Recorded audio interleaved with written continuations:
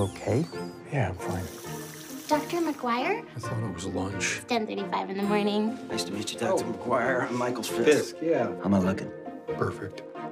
Michael Fisk was this guy who I thought had figured it all out. And then he killed himself. I need to find the reason why. I need another drink. I'm looking for a report on the death of Michael Fisk. Your name? My name is Spiros. Spiros. Spiros Papalapadopoulou. Spiros from Greece? Yeah. I'm sorry, I didn't get your name. Who are you? This is Michael's friend. Spiros.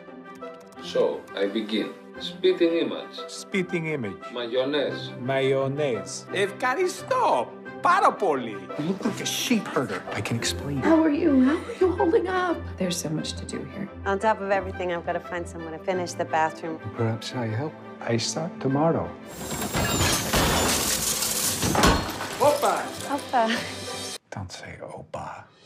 You know you're wasting your time, right? I mean, these cases don't have any answers. Like, this is some serial killer type stuff here. Ms. Fisk, very sorry for your loss. We investigate all suspicious deaths. It seems that Mr. Fisk may have been stalked. This has got to end. What would Socrates say now, Michael Fisk? You're the one with the unexamined life, not me! How's your life now, Phil?